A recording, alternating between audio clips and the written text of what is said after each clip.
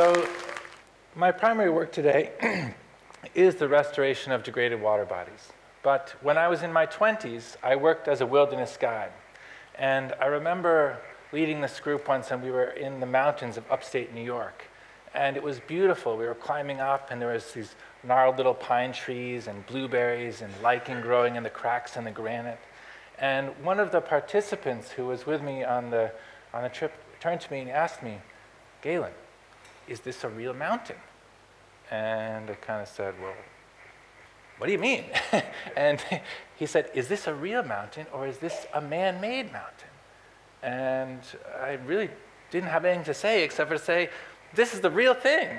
And to me, this is an example of somehow how I think that we've become so far removed from the natural world, so immersed in our hyper connected and manufactured lives that it's easy to forget where our lives come from. It's easy to forget that every breath of air, of oxygen we breathe was created by plants. It's easy to forget that every drop of fresh water is made possible through the living circulation of the water cycle. How many of you, the last time you were running for the train and you grab the panini and you sit down in your seat and you're chomping through that cardboard stuff, think that every bite of this was once a living organism? Every bite of food we eat was once a living organism. The challenge is how can we possibly expect to be able to plan and to create a sustainable world which is in harmony with the ecosystems which support us when we are so far removed from these systems? Well, I think that there is a movement emerging, which I call this very big word called renaturalization. This is a fascinating word. It has two meanings. In a political context, renaturalization means to become a citizen of a place, renaturalized. Okay? In an ecological context, renaturalization means to become native to your ecosystem. To me, renaturalization is the process of becoming natives to the ecosystem of the world around us. And I'd like to share with you several of the things that I observe in this process, from reconnecting with wild places, to reintegrating living systems within the built environment, to restoring degraded waters and lands. Now, in my time working as a guide, I had a great opportunity to work with some fantastic groups of drug addicts and felons. And I remember once being on a quite a hardcore wilderness trip 40 days in the canyonlands of Utah. It's a long time, 40 days in the wilderness. Only a tarpaulin from World War II, one of these nice old German tarpaulins, nice and tough, but this was our backpack, our only shelter, sleeping under the stars, trying to string it up in the bushes. A tin can, full on the first day, opened up, eat the peaches, cooked every single meal for the next 40 days in the wilderness over a fire made by friction. You can imagine, this was a terrible and brutal and grueling experience. Maybe. I remember one evening, camped on the edge of Moki Canyon, and we were warming up water in our tin cans, washing our arms and our necks, and the steam was rising up into the clear desert air in the evening, and the stars were above. This was our spa night, and we were laughing hysterically for hours. It is amazing, incredible how wilderness can fulfill us in ways which we don't even know. The challenge is how on earth do we bring that fulfillment and that connection with nature back into our lives? Because my phone is pinging, and I think it might be my next client, and I don't have time to remember the connections. I don't have time to remember where my life comes from. How can we possibly bridge this gap? Well, there is an experiment unfolding to bridge this gap, which I call the reintegration of nature. The reintegration of nature is an experiment into the integration of modern materials and techniques with living systems to grow food and purify water and purify air directly within our homes, our cities, and our infrastructure.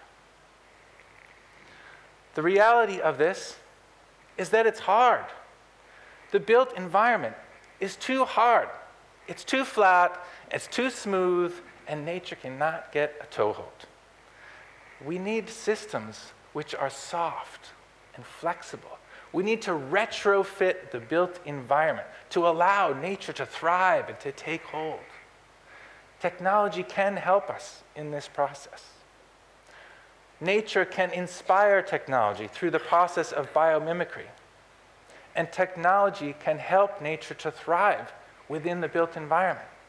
I remember when I was a child playing for hours in the woods behind my house, and I just loved it. It was fantastic. My parents had no idea where I was.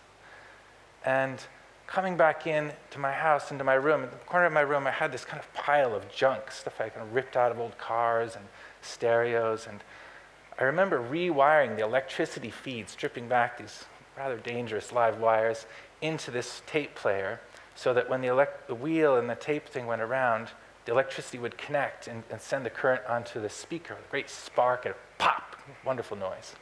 And I could adjust the speed with a dimmer switch from a light. So it would go around and the speed would change, and it made this wonderful kind of noise. It was a brilliant electronic sound machine. And I still love technology, and I still love ecology. And nature and technology can work together. A valley in Kowloon, Hong Kong, polluted with the overflows from a visitor center septic tank, is restored, integrating pumps and valves and a series of living biofilters on old rice terraces. It's transformed into a zero discharge natural water treatment system with all of the water recycling back used for toilet flushing and irrigation. Nature and technology can work together. We are learning to use modern materials in this way wisely, diligently, selecting those which are recyclable, disassemblable, and cellular and modular in design. On the north end of London, three 10 story apartment blocks pour their stormwater into this concrete basin, discharging into the river. We are asked to restore this into a, a proper stormwater system, but there's no access. There's no way to get in there. We craned 64 tons of soil and plants and gravel over this building, being careful not to drop it on somebody's balcony, to create a living ecological pool, thriving, which receives the stormwater, mitigating flood levels. There's an underground parking garage just underneath this on the edge filtering the water down through the basin and releasing it out to the canal treated. I invite you to imagine what this process might look like. Five, ten, fifteen years from now, what happens if we really do integrate nature? How could it be? Our buildings are draped with living walls to roofs to balconies, you know, thriving around us. Not landscaping, but functional and diverse. I would like to tell you the third part in this, this journey of renaturalization about restoration. Now, all around the world today, areas are becoming degraded. Places are becoming polluted, too polluted and contaminated to support life. Other areas are becoming desertified and too dry. Like so many places, so many cities, the rivers are becoming walled off because of the risks of flooding caused by climate change. A floating riverbank winding along the side provides an integration of technology and an ecology, a solution to allow the habitat to thrive in this harsh environment, with ducks and amphibians riding safe on their home as the water runs underneath. Or like this river on the outskirts of London, channelized hard-edged concrete decades ago. It's been like that for ages you can see a floating riverbank just installed in December. It was freezing. Couldn't feel my hands for days. In the spring, the first new shoots begin to shoot up, and by September, it's become a living riverbank again for the first time in decades. And if you were to paddle along here in a canoe, you would have no idea that that hard concrete edge, which is protecting the infrastructure, and there's a shopping mall actually behind there, is still there. It's still doing its job, but the, liver, the river is also there and thriving as well. Working with water provides a leverage point. It's a transitional and transformative element. It allows us to create places which are biodiverse, calming, and restful within the urban environment. We had the opportunity this year to work with the Environment Agency, some great architects, Bob Bray, and, and also the Hastings City Council, on a system to treat contaminated water flowing out to the Hastings Beach. Just been on the edge of failing the EU standards for quite a few years. We had to develop a mathematical model which would predict the, the food chains in the in ecosystem enhancements we were proposing to try and calculate out if this was going to work.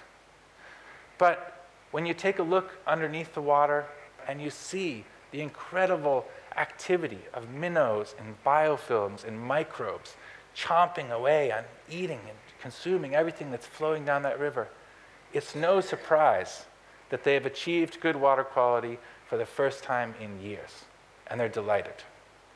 North end of Manchester, another lifeless, hard edged, brick lined water body, creating a floating spiral garden to help to bring it back to life again.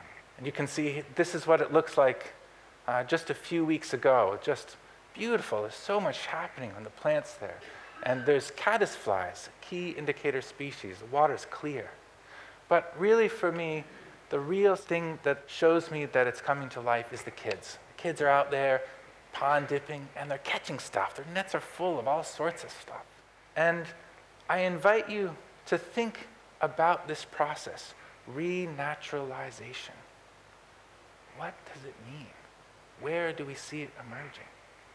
It's a simple concept, but the impacts are profound. Reconnecting with wild places has the capacity to make us happier and healthier, more fulfilled, with less need for external consumption. Reintegrating natural systems within the built environment to grow food and purify water and air makes us much more resilient. Food and water are everywhere. And restoring degraded places makes the world bigger again. Renaturalization. I'd like to tell you a little story in the future about a man named Jasper. He's 20 years old. He rides to work along the side of a restored river. Arriving at work, he goes up the elevator and he passes by the lunch wall. And he notices that there's a crack in the irrigation valve.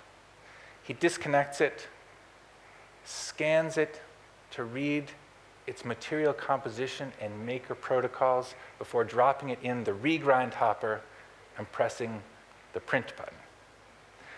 He proceeds into the workspace, collaborating with his colleagues.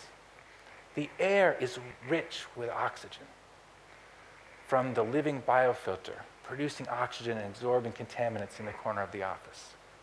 All that mental capacity makes you thirsty.